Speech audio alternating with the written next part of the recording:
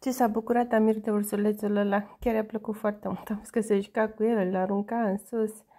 I-a plăcut și s-a bucurat foarte tare de el. Au plecat în sfârșit. Acum toată lumea poate să iasă pe terasă. Să stea la aer, să facă ce vor.